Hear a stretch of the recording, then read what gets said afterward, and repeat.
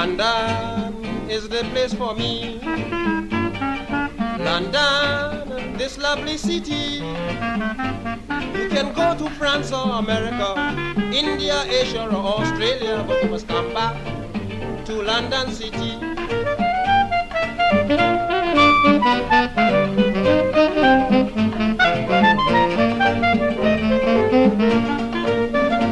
Well, believe me, I am speaking broad-mindedly.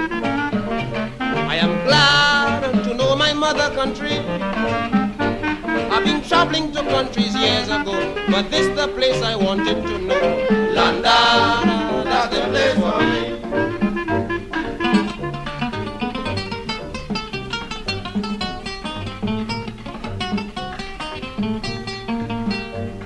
To live in London, you are really comfortable. Because the English people are very much sociable take you here and they take you there and they make you feel like a millionaire. So London, that's the place for me.